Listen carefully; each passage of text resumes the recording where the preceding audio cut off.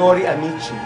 Sono i due cavalli. Da stasera 25 settembre fino al 6 ottobre il Napoli Teatro Festival mette in scena la sua preziosa coda autunnale con sette spettacoli di variegata concezione che concludono l'edizione 2012 della rassegna internazionale diretta da Luca De Fusco. La riapertura di questa sera è al Teatro Mercadante con Antigone, un lavoro commissionato dal Festival a Valeria Parrella con la regia dello stesso De Fusco che ispirandosi alla tragedia di Sofocle e al mito greco riflette sul diritto all'eutanasia nella società contemporanea. Notevole attesa per la nuova scrittura di Enzo Moscato che debutterà giovedì 27 al Teatro Nuovo. Ta Caità è un omaggio alla seconda figlia di Edoardo De Filippo, morta in giovane età, che diviene metafora di quel breve vento di rinnovamento che carezzò Napoli nel dopoguerra.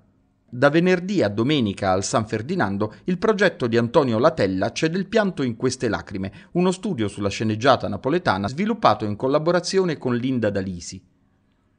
La programmazione autunnale del festival comprende ancora la grottesca Odissea napoletana di Gabriele Russo o Paparascianno di Petito diretto da Laura Angiulli e Lina Apolinà, spettacolo di musica e danza di Lina Sastri.